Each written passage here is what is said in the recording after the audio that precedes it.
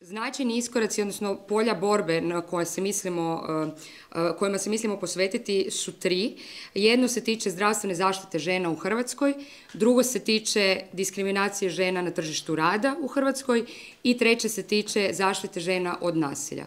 Što se tiče zdravstvene zaštite žena, a, dakle u Hrvatskoj trenutno primarna skrb za reproduktivno, takozvano žensko zdravlje je ženama nedostupna. Dakle, mi imamo manjak ginekoloških timova i ne samo manjak, nego oni koji postoje eventualno recimo u Zagrebu su prepunjeni i danas se djevojke i žene kada bi htjele jednom godišnje obaviti svoj pregled koji je nekakav minimum minimuma skrbi za reproduktivno zdravlje, kada bi jednom godišnje htjele napraviti papa test, ne mogu upisati kod ginekologa jer su svi puni i nema slobodnih mjesta. Dakle, žene i djevojke u Hrvatskoj mogu ili to raditi u okviru privatnog sektora, što znači da to moraju plaćati i to nije jeftino, ili to mogu zanemariti pa e, nažalost živjeti sa posljedicama koje e, kada se na taj način e, zanemaruje zdravlje znamo kakve dolaze.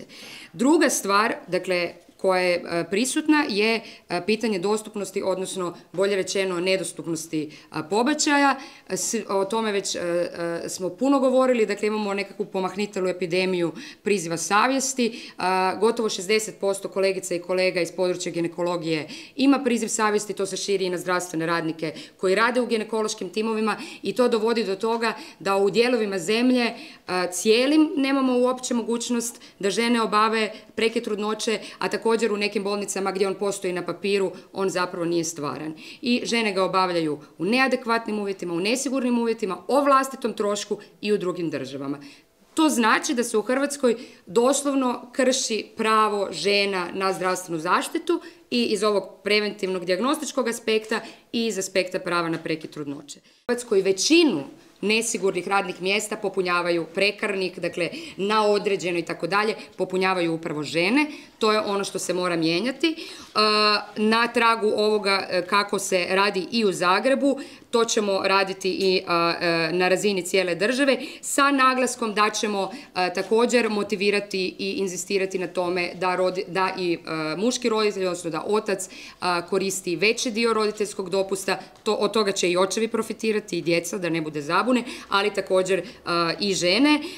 pa do toga dakle, da ćemo osigurati skrb dakle i za starije i za one u potrebi i za djecu na razini, na razini cijele zemlje. Dodatna stvar je koju nam nikada nisu prihvaćali da ćemo izmjenama koju smo nudili naravno u Saboru, izmjenama zakona o radu omogućiti, to se čini isto osobito važno, veću zaštitu prije svega trudnica koje rade na određeno, odnosno veću zaštitu od zlouporabe ugovora na određeno i agencijskog rada, od čega kažem uglavnom, uglavnom štetu imaju žene.